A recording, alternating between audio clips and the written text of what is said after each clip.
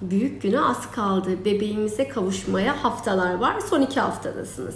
Artık bebeğimizin çantasını da hazırlayalım. İçinde neler olmalı?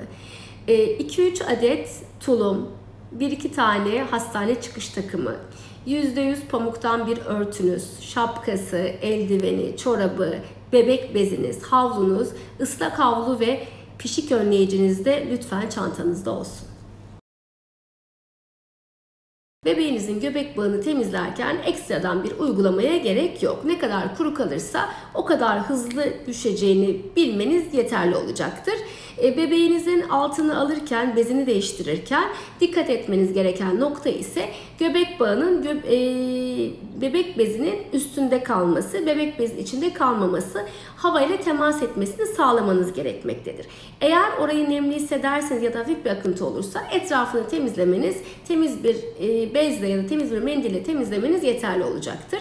E, bu dönemde yıkama konusunda ise silme şeklini yıkamanızı öneririz. Çünkü e, ne kadar kuru kalırsa o kadar hızlı düşeceğini de unutmamanız gerekmektedir.